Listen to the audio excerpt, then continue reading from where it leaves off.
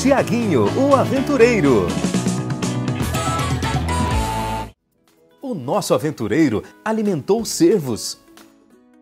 Normalmente de coloração parda, patas compridas, cauda curta, muito ligeiro e tímido, possui galhada simples ou ramificados. Galhada é o que chamamos de chifre.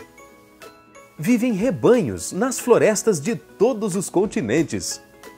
Com exceção da rena, todas as fêmeas dos outros cervos não possuem galhada, erroneamente chamados de chifres.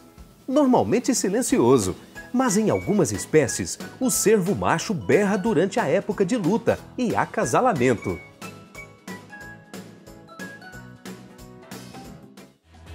Veja mais no DVD Tiaguinho o Aventureiro, uma aventura com os animais selvagens.